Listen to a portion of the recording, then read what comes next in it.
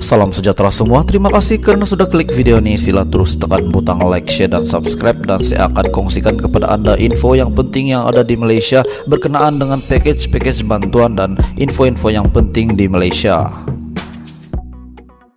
Salam sejahtera seluruh warga Malaysia. Salam sejahtera tuan-tuan dan puan-puan.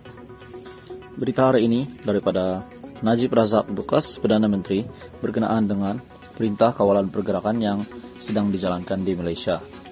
Berikut merupakan tiga PKP yang sudah dijalankan di Malaysia, yaitu yang PKP pertama, PKP 1.0, banyak perutusan khas PKP 2.0, kurang pula perutusan khas dan PKP 3.0 ataupun 3.1 yang ada hanyalah bicara khas. Kata Najib Razak, mahu kuasa, mahu darurat, mahu pinjam ataupun belanja sesuka hati, mahu buat PKP 2.0 ataupun PKP 3.0. Tapi bantu rakyat tak mahu, katanya lagi.